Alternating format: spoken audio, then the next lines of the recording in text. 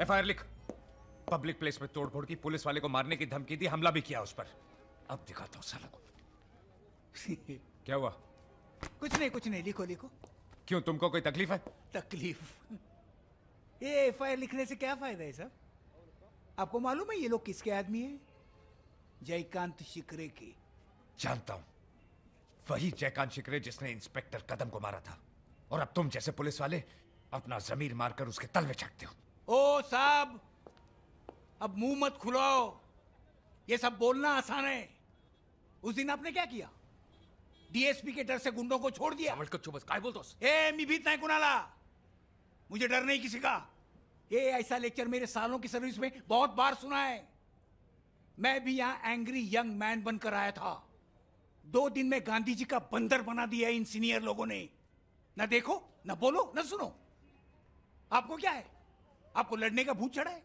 सबसे लड़ना है आपको? लड़ो, मारो। दो दिन में ईमानदारी का भूत उतर जाएगा। अरे, कोई साथ नहीं देगा आपका, कोई साथ नहीं देगा। चलो, ये हवालदार सावड़कर आपके साथ खड़ा रहेगा।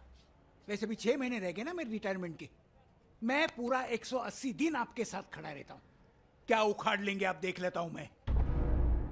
ये एफ़ आई आर जितना अच्छा बोलते हो, काश उतनी अच्छी ड्यूटी भी करते। ए, बाजीराव सिंगम क्या रे? मेरे आदमी लोग को अंदर कर दिया ना तूने? हाँ?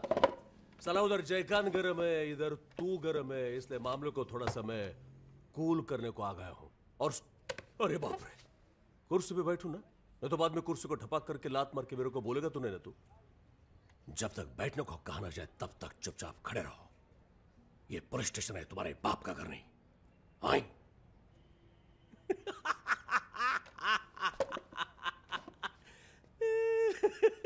क्या फडनीस करेक्ट बोला कि नहीं हाँ? चल कटिंग मंगा ले। अदरक मार के। क्यों सिंगम छोड़ देने मेरे आदमियों को। एफआईआर बन गया है। तो फाड़ दे उसको। गवर्नमेंट रिकॉर्ड है।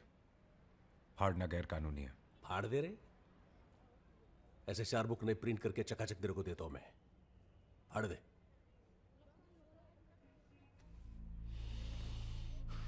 ज़्यादा सोच मत सीरियस से बोलता हूँ तेरे को फाड़ दे।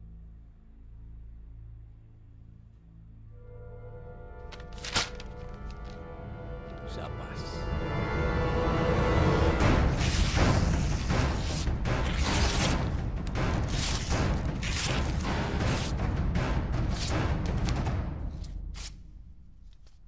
यही तो मैं समझा रहा था तेरे को सिंगम ये फोकट की गर्मी और ऊपर- एफआईआर क्यों फाड़ा? हाँ?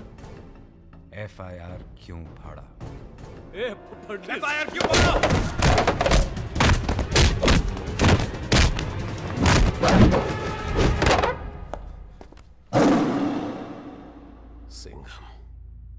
तेरे को पता है मैं कौन हूँ? जयकांत कौन है? हाँ बोल। कौन है तू? बोलना कौन है तू? साथ क्या है?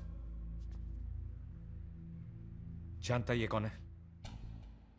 ये छोटू मेहनत से ईमानदारी से चाय पिलाकर दो पैसे कमाता है। तू कौन है? करप्शन से पैदा हुए गंदी नाली के कीड़े। औकात क्या तुम लोगों की? बोलना